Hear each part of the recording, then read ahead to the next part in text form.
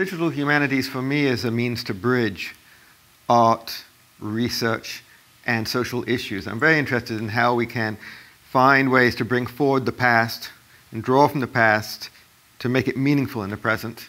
And that means reaching across different fields and using the tools of our time to create a kind of liaison, to speak to the past and to let the past resonate with us. And by doing that, I mean to let the different forms of expression live forward those of performance, of writing, of making images, of telling stories, of addressing the um, addressing the, in the sense, the political conditions of our time and the social conditions through these forms, these lessons we have from the past. Humanities for me includes the social sciences, the hard sciences, the arts, really in, in kind of a renaissance way of trying to understand what and how the human experience is shaped and how we can use digital technologies to ask new questions in new ways through new methodologies and new practices.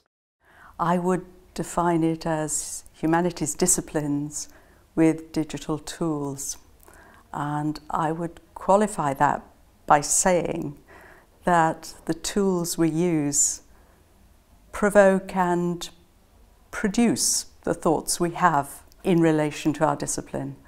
So I guess I would see it as a conversation, digital humanities a conversation between humanities disciplines, whatever your discipline might be, mine happens to be English studies, and the tools that I am bringing to that discipline at different points. Digital humanities is many things, I guess. It's, um, it's a lot of what people dream about the humanities, and they think that the digital part will be the realization of this dream. And sometimes these, pe these people might uh, think the dream could turn into a nightmare. they might be afraid that the digital part of the DH might swallow uh, the humanities part. Uh, but hopefully this is less and less the case. And people realize that DH, digital humanities, is just means to further, to go uh, beyond uh, in humanities research.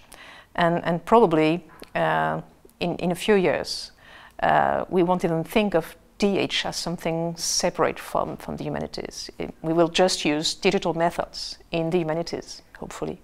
Digital humanities is the application of quantitative methods uh, to problems, to pre-existing problems um, identified in humanities disciplines and to the, the possible generation of new ones. There is a form of genius, of course, that's unleashed by digital humanities, and that um, it, uh, gives us hope for the future.